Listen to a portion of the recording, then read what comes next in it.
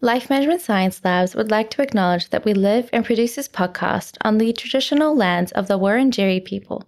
We'd also like to acknowledge the traditional owners of the lands of our listeners and our international colleagues. We'd like to pay our respects to their elders, past, present, and emerging.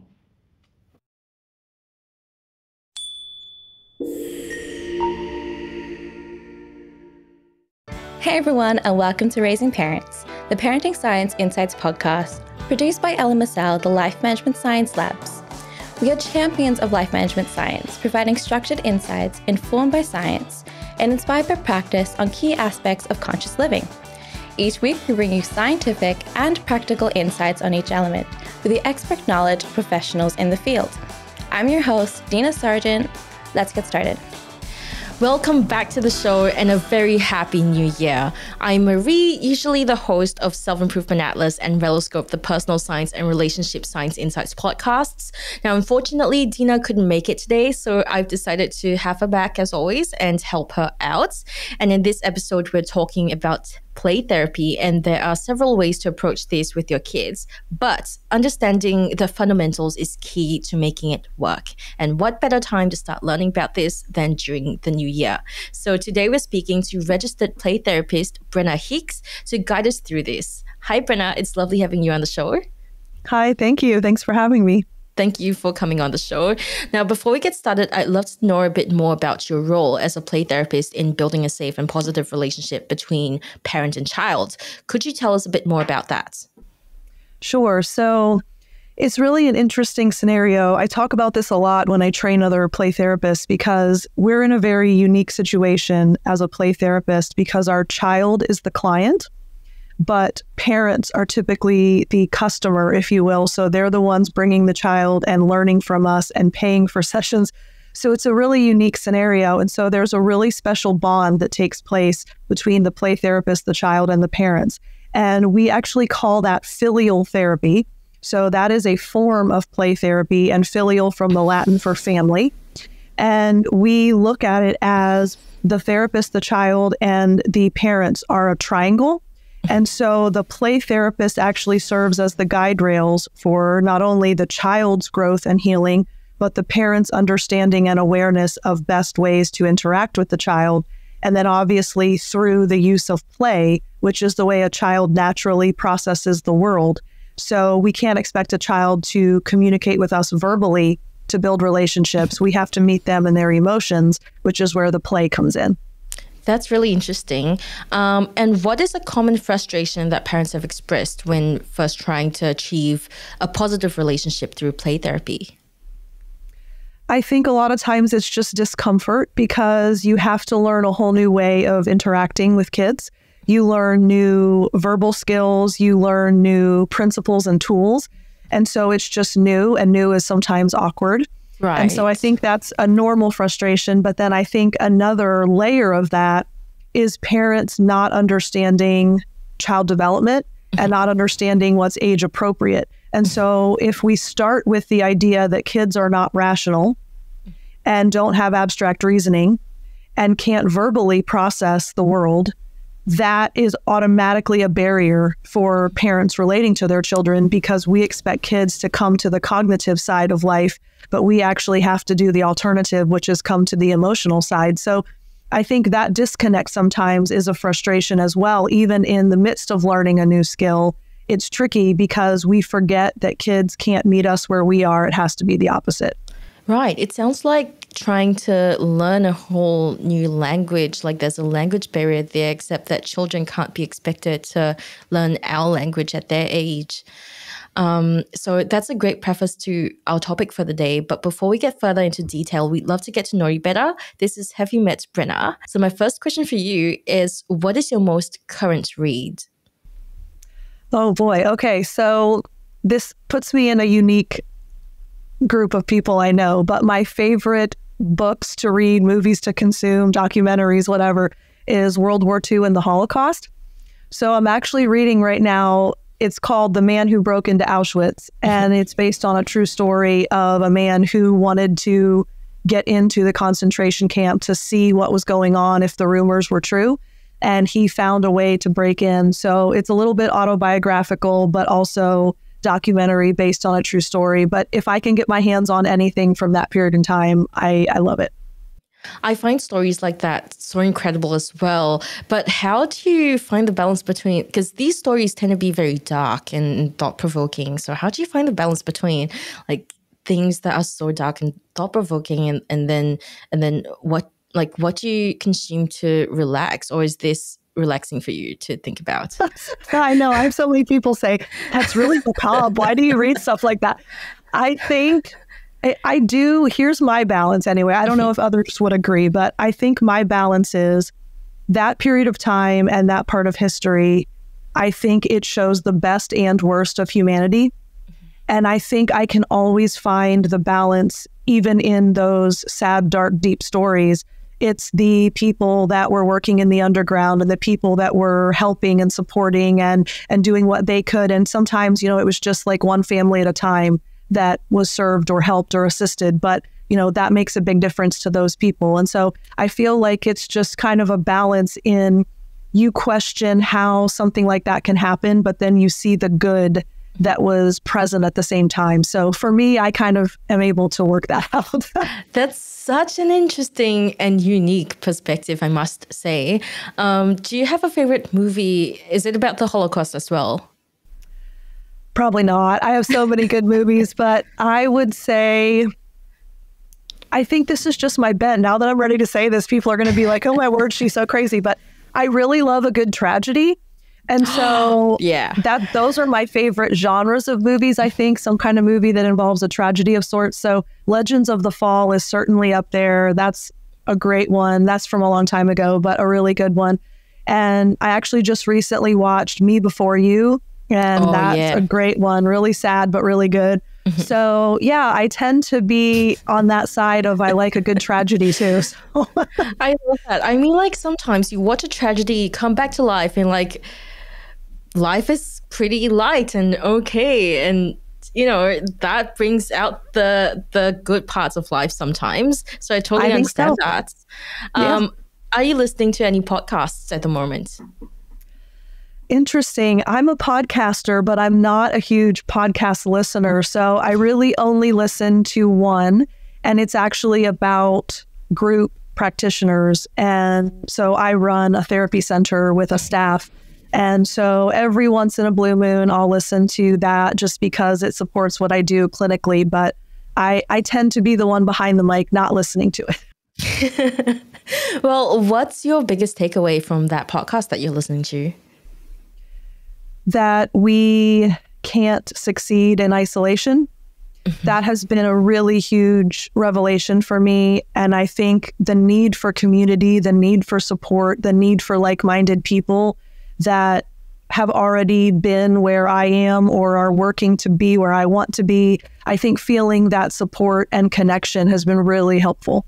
Completely. We are social creatures at our core. Um, so that makes total sense. Do you have a role model either professionally or personally? Hmm, okay, can I do both? yeah, of course. Well, personally, my grandmother. Um, I actually just lost her exactly three years ago this month, but um, such a strong, wise, gritty, determined woman. And she just she inspired me in so many ways. And yeah she's for sure my personal role model. Professionally garry landreth is known as the godfather of the child-centered play therapy space. And so everything he's ever trained created written put out it's just it's gold. And it's he really pioneered the application of the child-centered play therapy approach and so, you know, I mean, it, it was passed down through history, through different teachers and different approaches, but he kind of made it accessible and started training it in the universities and really just blazed a trail for all of us. So, Garry Landreth for sure, professionally. Those two sound like beautiful role models. And I'm really sorry to hear that your grandmother has passed away three months ago. Um, she sounds like a fantastic woman. Um, and my last question for you is Is there a course that has inspired you? Is there a course? Yeah, a course that you've taken in your lifetime, be it like educational or for your career. Yes. So I'm a huge Brendon Burchard fan. And so he originally, I mean, he's written several books. I mean, you know, Millionaire Messenger and Life's Golden Ticket. And so you have a lot of the books that he's written, but he created a course called Experts Academy. And that really transformed my vision of where I was going to go professionally. Not that it changed my play therapy path because that's always been very steady and solid, but it opened my eyes to the different avenues that I could take my mm-hmm. knowledge. And so the author, the speaker, the expert, that really kind of, I guess, exposed me to new ideas of remaining child centered and, and driven by play therapy, but then taking it into different channels. Mm-hmm. so, Experts Academy was a huge course. I loved it. I benefited greatly from it. And a lot of the stuff that he has put out has just been really influential for me in my career.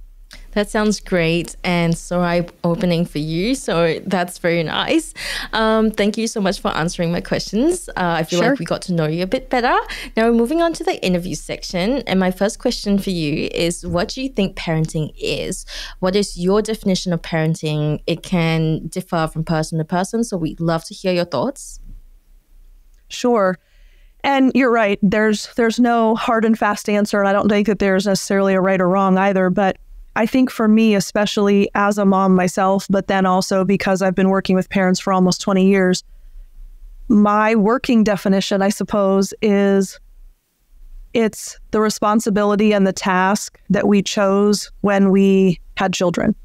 Yeah. And I think often we we lament the frustrations and we get frustrated by the struggles and you know sometimes we complain about how hard it is and one of the phrases i hear all the time is you know you have to get a you have to go through a course to drive and you have to do all of these, you know, training requirements for everything else in life except parenting. And while that's true, I also think that the moment that we chose to become parents, it became our job. And therefore it can't be something that frustrates us or that we resent or, you know, complain about because quite frankly, it's something that we signed up for. and that's why it's our task at that point to educate ourselves, equip ourselves, train, do everything we can to be the best parents that we can be. But operationally speaking, I mean, I think that's big picture definition, but then operationally, I think it's realizing that our kids are small beings mm-hmm. and they deserve kindness and love and respect and all of the things that we would extend to other adults in our lives we can't treat kids any less just because they're small. And I think that gets missed a lot. And so I think parenting really is intentionality about being kind and loving and respectful to our kids because we want happy kids who become happy adults. And the only way that we create that is if we honor and nurture that relationship, even in their childhood and in their, those small years, that it's easy to disregard them or you know, kind of slough off, well, they're still too little, but really they are sponges and they're soaking everything up. So relationships are built on micro experiences. Mm-hmm. And I think that as parents, if we nourish those micro experiences, that's parenting at its best. Absolutely. And you put in such an eloquent manner. So, what do you think expectant parents need to be aware of in transition to parenthood? Hmm. Well, it's not going to be what you thought it was. we'll start there. it's it's um, you know there's always these idyllic visions of what you know raising a child's going to be, and it's never going to be that. But it is really an incredible gift. It is such a special thing, and you know when you when you have a child and you know that they're going to someday be an adult and they're going to look back on you as their parent and have stories to tell you know, that's something that I talk about all the time. We want to keep in mind what stories are our kids going to tell when they're 25 and someone asks them, What was your childhood like? What were your parents like? What do you remember about being little? Do we want them to say that we were kind, we were patient, we were gracious, we were forgiving, we owned our mistakes, we taught them, we were, you know, sympathetic. We, I mean, there's so many things that I think we ideally want our children to say but that should influence every moment. So instead of reacting and getting angry and yelling and getting frustrated and all the things that are easy to do, if there's purpose behind those decisions, because the goal is I want my child to reflectively look back and say, my parents did everything they could to give me an amazing childhood. That's really powerful and that's a huge motivator. So I think, you know, transitioning into I mean, obviously with a new baby, you know, there's there's a huge learning curve, but with children in general still living in the home, you know, there there needs to be a lot of thought into what kind of relationship you're creating, what kind of interactions you have, the nature of the conversations that you cherish in the relationship. So it's definitely a lot of work to be purposeful. And I think that expectant parents, if they go into it with every moment that I have, I can choose to create something that I want or just allow the default. And usually the default is not ideal. Mm-hmm. So I think that choice is very empowering for parents. Yeah, those are some incredibly wise words. Uh, but with regards to play therapy, can you give us an overview of what it is and how it's used in the context of parent child relationships? Sure. So, parent child interactions are usually strained if parents don't understand the developmental level of kids. So, play serves as the conduit, if you will, so that the child will naturally be in their developmentally appropriate stage. They will be in their emotions and they will play out experiences and what happens to them in the world naturally. If you give a child, any child, anywhere in the world, if you give them 15 minutes of unsupervised time, they will find something to play with. It is miraculous to watch. You can maybe test the theory, you know, like give them a room with, you know, whatever they can find in it, they will find something to play with. So they're naturally wired to mm-hmm. experience the world, test things out, work through situations, problem solve. They do all of these things through their play. It's just naturally intrinsic. So if parents can recognize that and meet the child in their play, that actually helps build the relationship. And then the play therapy approach has all of these verbal connections that take place while the child is playing, which I think you're going to ask about in a little bit. So I'll save that for then. But there's definitely the sense of not only are we meeting the child in their play, which is relationally connective, but then we learn ways to interact with the child while they're playing so that it actually does even more for them than just the play in and of itself. And so, how does play therapy differ from other traditional forms of therapy, and why is it particularly suited for children? Right, that's a helpful question. So, if we recognize that children don't develop abstract reasoning skills until about the age of 13, obviously girls develop a little faster than boys. So sometimes for girls it's 12, but typically 13 is kind of the standard age when we see abstract reasoning develop. And we also recognize that kids are not verbal, they're not rational, they're not cognitive. So traditional forms of therapy require all of those components. You have to be able to talk, you have to be able to cognitively process, you have to be able to answer questions. You have to sit and have prompts and dialogue. And kids are just not wired for any of those interactions. So, traditional therapy is very well suited for teenagers and older, but it is not developmentally appropriate for kids. So, play therapy is really well suited for kids 3 to 13 and it meets them in their emotional process and it meets them in their lack of verbal capacity and lack of abstract reasoning. Because a traditional therapist might say tell me why you felt that way or tell me why you did that or what were you thinking or feeling at that moment and you can test this theory too it's actually fun because you get the exact same response if you ask a child any of those questions they either give you a one word answer or they say i don't know and that's very frustrating for an adult. But the irony is that's a truthful response. They don't know because they didn't think about anything. They are emotionally driven. They are here and now in the moment. Whatever feeling I'm feeling inside dictates my behavior. So they felt and they did. There was mm-hmm. never a cognitive process. So therefore, when someone says, Why did you do that? And they go, I don't know. And then, you know, usually adults go, What do you mean you don't know? And then it becomes this big fight. But the reality is the child literally doesn't know because there was never a thought involved. So, the way that I describe this so that parents really can grasp this concept, if you're familiar with pool pumps or air conditioning units, anything that has a float switch. So, there is a, a level within a liquid container that when the liquid hits the container, the switch is tripped. That's basically the function of a float switch. So, if you think about kids and they are always in this emotional pot, well, the level of the water is going to rise and fall based on how big their feelings get and what's going on emotionally for them. Well, when the feelings rise to a certain level in the pot, the float switch gets tripped and it literally says to the child, Your brain can go take a break. so the brain completely shuts off, it disappears, it has its little siesta. The child is consumed by feelings. All they do is act out in their emotions. And then once the emotions de escalate again, the float switch gets tripped again. And then the brain comes back in, and the brain goes, What did you do that for? You shouldn't have yelled. You shouldn't have thrown that. You shouldn't have said those things. You know better. But the brain was not involved in the decision making process, it was shut off.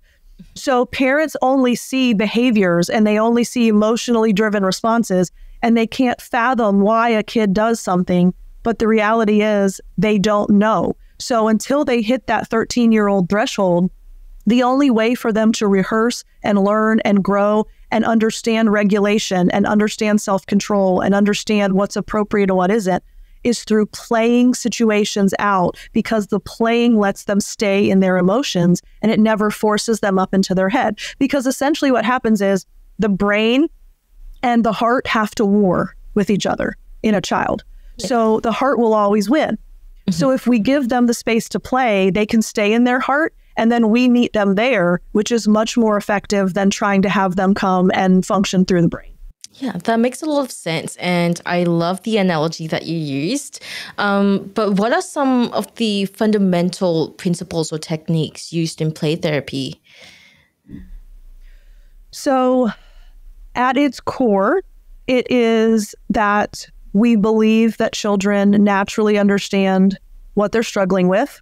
They naturally understand their shortcomings, their mistakes, their failures, their issues, their problems, whatever it is that they really don't execute well.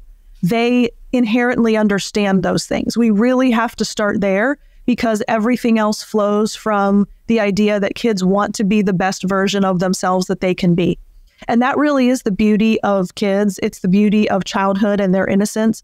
No child chooses to stay in a dysregulated state if they can help it. So when you have parents that say, oh my gosh, my kid has meltdowns six times a day and they're always having a tantrum and it's impossible to take them anywhere, what is often missed is no child wants to be in that state. They're not choosing to stay there. They're not willingly wanting that. They don't know how to get themselves out of it. So if we understand that they will naturally work toward being a better version of themselves if given the time, the tools, and the opportunity, then we take that and say, okay, so then we need a relationship in which the child feels safe enough to mm-hmm. work on these things. We need someone to serve as therapeutic guide rails, saying appropriate things at appropriate times so that it kind of keeps the child going in the right direction, which can be a parent, but it's usually also a play therapist. and then we provide them with the tools. So they need toys to play out any scenario that they need to work through so that they can either rewrite their story, they can create a new narrative, they can desensitize their, their feelings when they're too big. They just work through what they need to work through, but the time, the tools, and the opportunity have to all come together. So the principles then are how parents and therapists interact. And those are very skill based, intentional phrases and we interact verbally while the child is playing. The child never has to say anything if they don't want to, but the parent or the therapist are very verbally actively engaged using those principles. So, could you share some examples of the types of activities and interventions used in these play therapy sessions? So, we act as a child centered. Let me let me preface. So, there are different types of play therapy. So there are directive approaches and there are non directive approaches. I am a child centered play therapist, so we are very non directive. And essentially, what that means is we trust the child to do the work that they need to do in the child's way and in the child's time. So we actually would never introduce an activity or an intervention because that's the non directive model. There are directive models that if a child is struggling with aggression, for example, a therapist might have them do an activity related to aggression so that they can process it. But I'm on the very non directive side. So I will answer the question in a different way, though. So, what will happen in the playroom is the child will start to work on power and control themes, let's say. And so we immediately recognize okay, the child has felt powerless, the child has felt out of control. So now in the playroom, they're taking ultimate authority, ultimate power and control, so that the pendulum swings to the other side. So they have felt stuck on one side, powerless. Now they're going to have ultimate power. And then eventually they realize neither side is healthy, neither side is where they want to be. And then they find centered balance. So as we watch this unfold, we are trained to reflect their feeling, for example. We're trained to use choice giving. We're trained to set limits in in a specific way if necessary. We're trained to use encouragement. So we have these skills that serve as the undergirding for as we recognize what the child is working on, then we use the skills appropriate for that issue so that it helps the child process what they need. So, what is the directive approach like, and what is the main distinction there? Is there is is one better than the other, or um, are there different situations where maybe the directive approach might be better? So that is the age old debate. And there are people on both sides of the fence, and never the twain shall meet, I don't think. So there there are people who are vehemently opposed to the non-directive approach and then the polar opposite is true as well. Yeah. So in my work, I have only ever been child-centered and non-directive. I have been trained in that way. I have seen that in my opinion, it is the best approach because if we inherently believe that kids want to be the best version of themselves that they can be, mm-hmm. why do we need to step in and force them to address something before they're ready? Why do we need to direct an activity when they may want to work on something else first? If we just give kids the environment, the relationship, and the tools, they will address what they need to. So I don't ever like taking the reins from a child because I believe that the child is fully capable of handling that for their mm-hmm. own way, their own time, their own pace. However, the directive approaches are more driven by the cognitive model. And so, for example, you know, you can have cognitive behavioral therapy for kids, even though that's not empirically supported. They're not cognitive. So, doing a cognitive approach doesn't make much sense, in my opinion. But there are child versions of CBT. And I think the directive model would be more along the lines of a CBT approach. So, it would be if your child is not handling their emotions, let's play some games and look at feeling charts and look at feeling faces and let's better identify feelings, which would probably work to a degree. But the non directive model says kids will naturally figure that out and work through that on their own. And I believe that when someone takes ownership and responsibility of their own change and their own healing and their own growth, it's more long standing, the outcomes are better, the gains stay longer. I mean, I can force someone to learn something, but is it actually going to stick and have long reaching effects? I think it's much more effective when the child comes to those conclusions on their own. And what are some signs or indicators that parents should look for in order to determine if play therapy might be beneficial for their child? So I'll start with the data and then I'll share some personal examples. So the data shows that play therapy is beneficial for all ages, and that even includes adults, ironically. So they've done many, many studies with the geriatric population. They've done studies with adults of all issues at all age ranges. So play therapy is just helpful because the older we get, the less we play. And we we should play. We were meant to be playful beings and we need to play more. So there's a lot of really healthy things that come out of playing at any age. But they have done all kinds of studies that show not only is it helpful at any age, it's helpful for every issue. It's helpful with every ethnicity, with every culture, with race, with it doesn't matter why the child comes in, it doesn't matter the child's background. Play therapy is regulating. Um, so, what are some signs or indicators that parents should look for in order to determine if play therapy might be beneficial for their child? That's a helpful question. So I'll give the data side first and then I'll share the personal because I think both are relevant. So they have done all kinds of studies. They've been studying play therapy for decades. We have 60 to 70 years of research. So they have shown it effective with all ages, including geriatrics, including people that have traumatic brain injuries, with aphasia, with apraxia. It doesn't really matter. Any kind of issue that would make play appropriate in lieu of talking. They've found it extremely effective, but even specifically to childhood populations, they have found it effective with all presenting issues with all backgrounds, with all races, cultures, ethnicities, ethnicities. It is really well suited for any issue. And I think the reason why is because we are wired to be playful beings mm-hmm. and we're able to dive deeper into our feelings when we're playing than if we're talking. And mm-hmm. so when you give a child an environment that lets them work on whatever it is that comes into mind, there's a freedom in that, and it's really helpful. And then we have four universal outcomes. So whether a parent says, I really want to be proactive, and I just think play therapy would be helpful for my child because there will be beneficial gains regardless of any issues. Or you have the reactive parents that say, oh my gosh, like kids, my kid is really having a hard time and we're really struggling. So I think play therapy would be helpful, which are kind of both sides of the spectrum you have four universal outcomes. So, play therapy provides an increase in regulation. That's across the board for all issues. So, they just become more regulated in every scenario emotionally, mentally, psychologically, physically. They just regulate better. So, that's one universal outcome. The second is increased worldview.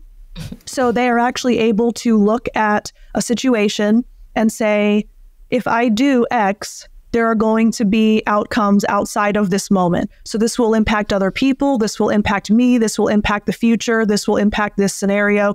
So worldview expands because before play therapy, they're very here and now, I focused. Mm-hmm. Developmentally appropriately so, but they only care about themselves in that moment. Worldview helps them to see that there are other people and other scenarios impacted by their choices. Third is increased self esteem, which we all should be working on our sense of self throughout our whole lifetime. So to have a child work on self esteem at a young age, it only sets themselves up for success in the future. And then increased emotional vocabulary. And there are plenty of adults in the world that do not have an emotional IQ, they do not have an emotional vocabulary.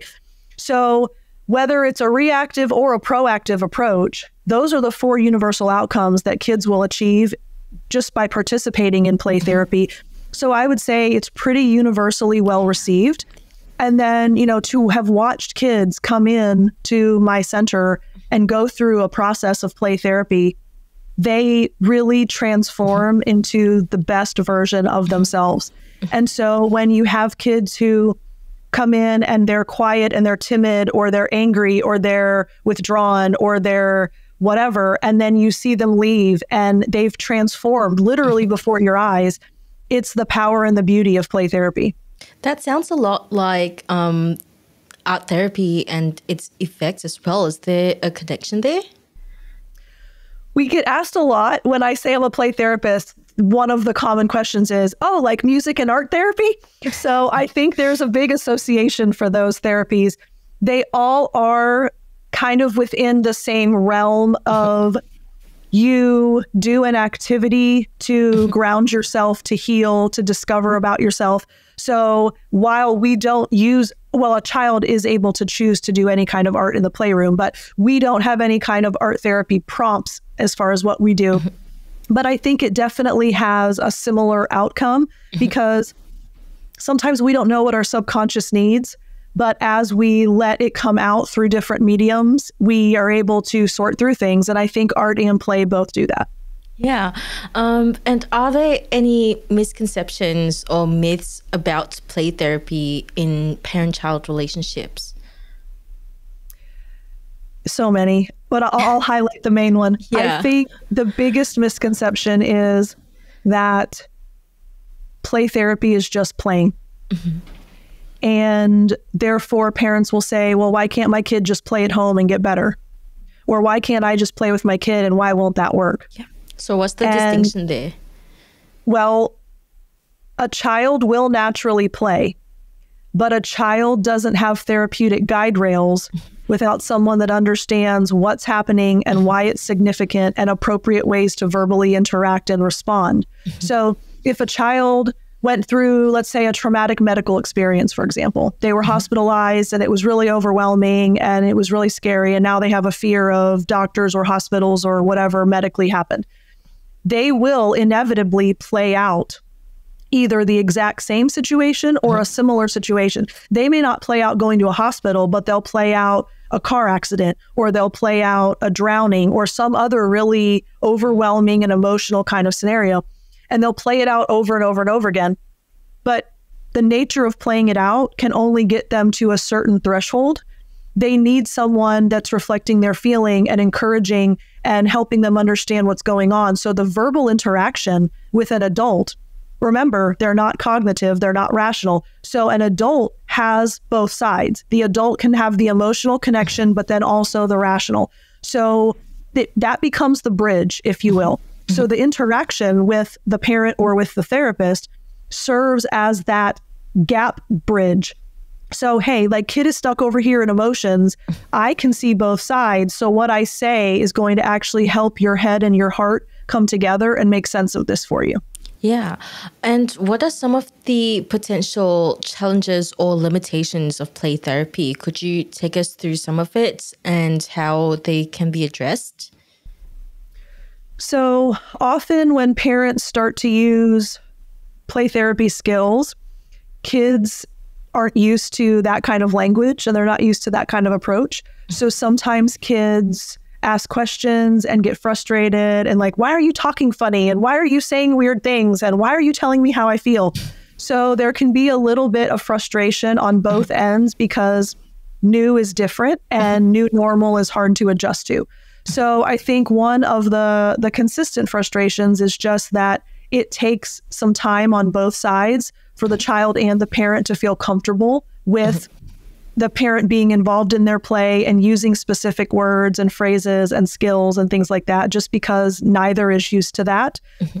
And then I think one of the other limitations, I don't know that I would say it's a limitation, but I think a frustration is that sometimes to think about the amount of time that you're going to have to sit and play with your child for this to truly be effective. You know, we're looking at a national average of 30 play sessions before a child can oh, really oh, wow. resolve the things that yeah. they need to work through. So that's a pretty big time commitment for a parent to say, I'm going to be intentional about a weekly playtime with my child, and it's going to take me half a year mm-hmm. to get through 30 sessions. And so it's really about the commitment and the investment that needs to be made for it to really see the full potential. Yeah. Um, and when do you think is the optimum time for parents to introduce play therapy um, into the child's life?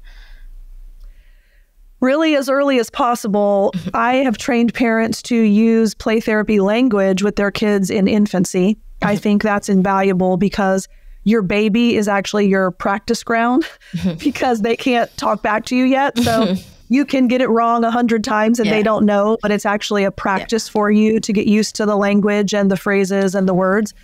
But developmentally, kids are really well suited for play sessions and the play therapy approach starting around three. Mm-hmm. So I encourage parents in infancy to use it just in the way that they communicate with their baby, but then actually start playing actively with the child around 3 mm-hmm.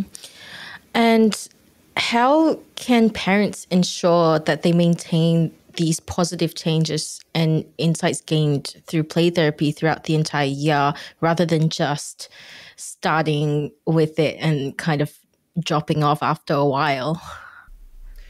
That that really is a struggle. It's it's very difficult to do something consistently. And the play approach is that ideally the best schedule is a once a week playtime.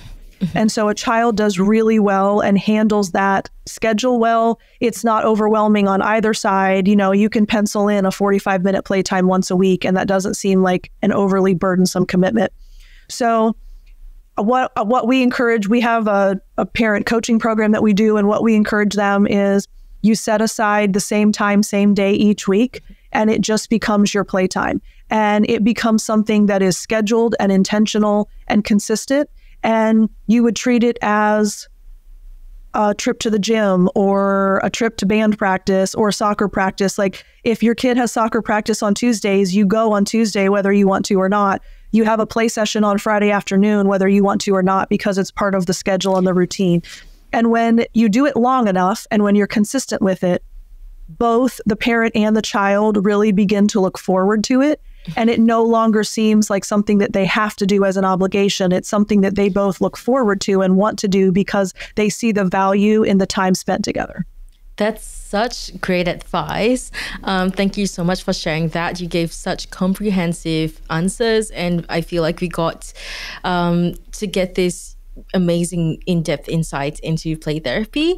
Um, so now moving on to the open mic section, and this is your chance to talk about anything that you're passionate about that doesn't have to be related to the topic. So take it away. The floor is yours. okay. Well, I'll start with one of my greatest loves, which is baseball. So we are a huge baseball family and that is actually a very interesting dynamic because our son's been playing baseball since he was three. And I'm always, always, always around parents with kids because he plays on baseball teams, which is yeah. parents with children. So yeah. I feel like it's really helpful for me to to see both sides because obviously, you know, I'm a play therapist and it's what I do, it's what I know, it's how I operate. I've been using play therapy principles with our son since he was born and he's newly 14. So, you know, he has only ever known play therapy as a parenting approach. And it's interesting when I'm around parents that really have no awareness of the play therapy approach. And I, I just love I love baseball families. They're the best families, but it's so fascinating to watch parents. And I really do feel that play therapy provides this unique solution that I think a lot of parents don't even know that they're looking for, which is a framework for how to best interact with your kids. And so you know, I have several podcasts. One is specifically for parents, and it's a parenting approach from the play therapy perspective. And I think that if parents can wrap their head around, I only want to do one thing, right? Because we can read books and we can listen to podcasts and we can get all of this knowledge and acquire all of this information but then we're always ever just throwing a noodle at the wall and seeing what will stick in any given moment, right? So, like, oh, my kid's screaming at me, let me try this. And now my kid won't go to bed, let me try this. And it's this hodgepodge disaster of burden and pressure and frustration that it's my job as a parent to try to solve this problem in this moment. And, you know, ironically, we only ever parent the way we were parented, or we say, I will never ever parent like my parents did because I hated it. But then you're left scrambling to figure out a different approach, which leaves you feeling lacking in confidence and really clueless. So, in either scenario, you're stuck. And one of the things that I talk about a lot is a parenting prison. So, when you find yourself in a parenting prison, which means you have a limited set of options, the key to get you out of that is one single handed, trusted source and framework and I feel like the play therapy model is that because from A to Z, you know exactly how to respond, what to do, what your systems are, what your phrases are. It's a very comprehensive package and it's uh, applicable in any situation. So, you know, we're at the ball fields and there's a little two year old sister that comes along to the games. And, you know, she's kind of like passed around from parent to parent because her mom doesn't want to chase her all over the ballpark. And, you know, it's just, it's amazing when I sit down and I do play therapy with her. I can see the connection. I can see the investment. I can see the relationship forming. And, you know, her mom is like, she doesn't sit on anyone's lap for that long. I have no idea how she's sitting with you. And, you know, I like, I'm sure people are like, wow, Brenna has this like magic touch, but it's play therapy. That's what it is.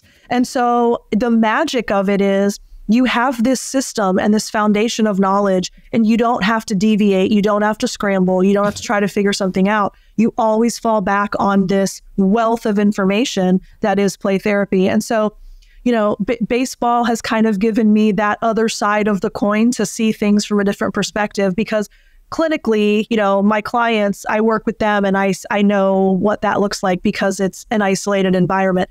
But out in the real world, you know, we go to restaurants, we go to ball games, we go wherever, and you see parents and kids, and you can just see the tension and the frustration and the angst and the, you know, the negative vibe. And I just wish that parents could trust one source. And that's why I evangelize play therapy so much.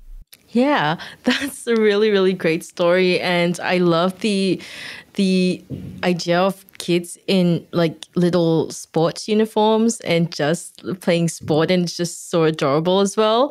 Um, so thank you so much for sharing that with us. If our listeners want to find out more about you and what you do, where can they go? Sure. So my parenting podcast is playtherapyparenting.com. And that has been about seven or so years in in the running. So there's a lot of episodes there. And again, it's through the lens of child-centered play therapy. So sometimes it's topical, but it is always related to the play therapy approach, regardless of whether it's more of a skill training or a topical discussion or something like that. And then, you know, I would really encourage parents, not specifically to look for something from me, but if they want to read a really good book, The Art of the Relationship by Garry Landreth is a, a wealth of information. It's just covered in gold. So that really will help parents understand the framework is always the relationship and everything flows out of that, which is what child centered play therapy is all about, too. But even from the parenting side of it, you know, you focus on the relationship and kids will behave in more self enhancing ways. If you focus on the problems, they'll behave in more self defeating ways. So, The Art of the Relationship is fantastic. And I talk a lot about that book in my podcast. And a lot of the content that I train comes from Garry Landreth's content there. So, the podcast would be a really helpful resource, and then that book as well.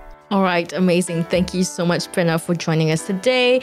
Uh, playtherapyparenting.com. We'll link that in the show notes along with The Art of Relationship by Garry. Thank you so much, everyone, for tuning in. Have a very happy new year, and we'll catch you in the next episode. You've been listening to Raising Parents, the Parenting Science Insights podcast, produced by the Parenting Science Labs, a division of LMSL, the Life Management Science Labs. More episodes are available from 10 life management perspectives and can be found by searching LMSL on Apple Podcasts, Google Podcasts, Spotify, and other podcasting apps available on your devices. If you enjoyed this episode, please consider rating our show, sharing it, and subscribing to our channel, as it helps other people find it so that we can grow and bring you more quality resources. More of our work can be found on our website at pa.lmsl.net where you can join our movement. I'm Dina Sargent. Thanks for tuning in.